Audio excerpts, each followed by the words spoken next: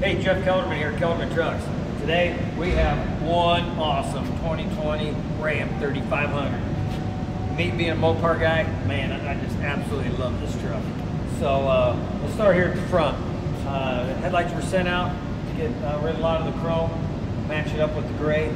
We uh, did our Alpha Series bumper with the winch on the front of this thing with our Commander uh, grill guard. We've got the 20 inch rigid um, Midnight Series in here. We've got our Midnight Series four inches there in the wings. So we've got cutouts for the sensors. We also put the monster hooks on the, uh, the bottom of the grill guard here. So uh, customers from Wisconsin, Harley Davidson plates, man, you can't go wrong with those things. So come right here, this got our three inch kit on it. So uh, guy's got a big toy hauler, uh, also got a, a car trailer to haul around his uh, um, toys. So what we're doing, We've got the Raptor remote resi shocks that are tuned for the airbags. The ride on this truck is fantastic. He's running some 35 inch uh, on this wing with 20 inch fuel wheels.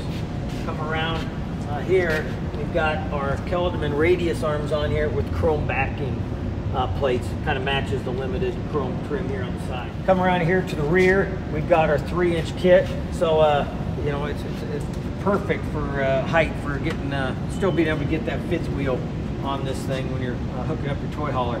Again, it's got the Raptor shocks uh, tuned to the to large high capacity airbags. So uh, these 3500s um, bumped up the capacity uh, a bit in 2019. So you can really haul large loads with these trucks.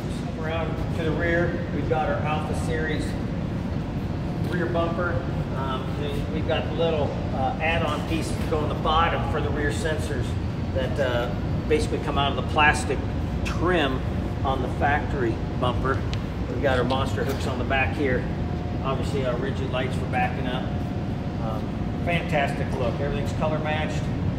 And uh, if a guy lives in Wisconsin, you uh, run across it, give him a big thumbs up.